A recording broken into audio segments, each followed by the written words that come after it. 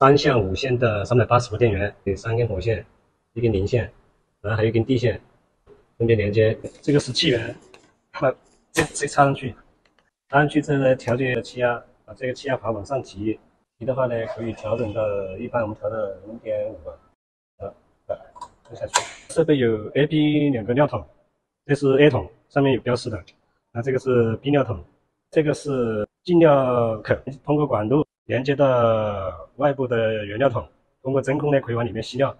这个呢就是一个真空管路，通过管路连接到真空泵，可以对里面进行真空脱泡。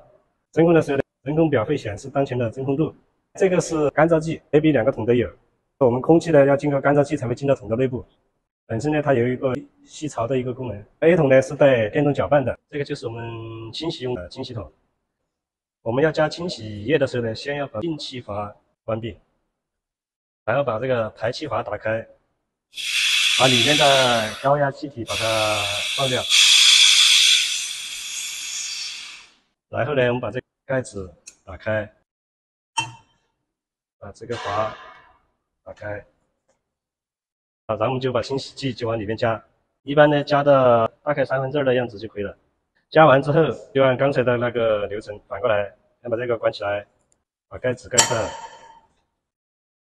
排气阀关闭，进气阀打开，里面就产生高压。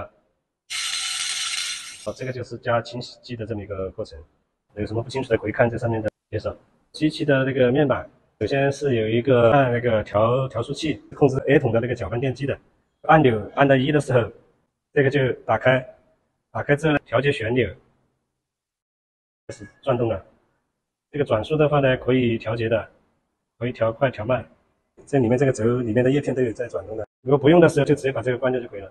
这个温控表呢，我们是需要在那个系统里面把它打开的。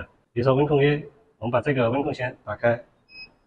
那这里呢，它是一个 A 筒跟 A 管的一个温度，这个温度呢可以设置，我们现在是六十度，比如说我们要要调到设到五十，通过直接通过这个上下箭头就直接调就可以了。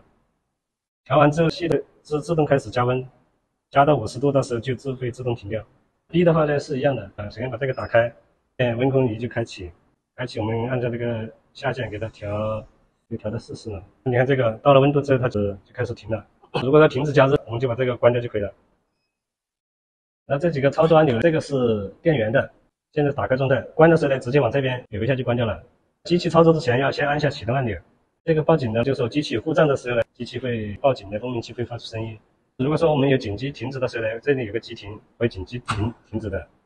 但是停完之后呢，我们要把它扭扭扭开，不然的话它卡在那里了，以后就操作不了了。那这个清洗键呢是用清洗用的，我们按一下呢，设备那边就开始清洗。这个笨胶的设备启动之后，再按一下它就可以开始出胶。这就是一个操作面板。这是操作手柄，有两个键的，上面是一个清洗键，下面是一个出胶的一个按钮。这两个按钮跟面板上的这两个按钮功能是完全一样的。我们要手动清洗的时候，我们就只需要按一下这个红色的按钮，设备就开始自动清洗。出胶的时候呢，我们就按下下面这个，设备就开始出胶。我们要放这个分合管，首先把外面这个拧掉，拧掉把这个管取出来。如果说不要的话，就重新拿一支新的，拿一支新的，然后先把这个套上去，把这个锁紧。好，这个更换分合管这个很简单，就这样就可以了。这个呢，就是我们设备的。两个计量泵，这个呢是 A 泵，料筒下面有个球阀，这个下料阀要打开，打开之后呢，这个原料才能下得来，不然的话，你这个下料阀不打开，这个原料下不来，我们是用不了的。是一个排料阀，就是我们要是要把原料多余的原料排出去，就把这个阀打开，就可以往外把它排掉。经过下料管，我们通过控制泵从这个 A 管输送到那个出胶头，然后这个呢就是 B 泵，也是下料管过来的，同样的那个阀，我们在使用的时候要把它打开。这个呢，就是一个清洗的电磁阀，这个是吹气的一个电磁阀。如果说我们清洗吹气，如果说有异常，可能是这两个电磁阀有问题，到时候呢，就是可以测试一下。这里有个调压阀，调压阀调节的压力主要是针对清洗罐的，一般我们是在零点二兆帕。这个我们出厂一般调好的，后期直接使用就可以了，不需要再去调了。这个呢是一个我们打料的一个电磁阀，我们打料的时候就要自动控制我们气缸的开闭。相当于是一个控制一个开关，这里面呢就是一个电控箱，这个呢，控制 A 电机的 A 伺服驱动，这个是 B 伺服驱动。我们所有的程序呢，就都在这个 PC 当中。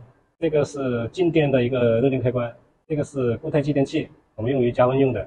这个是一个直流电源，我们把交流二百二十伏的变换成二十四伏的直流。这个是一个滤波用的。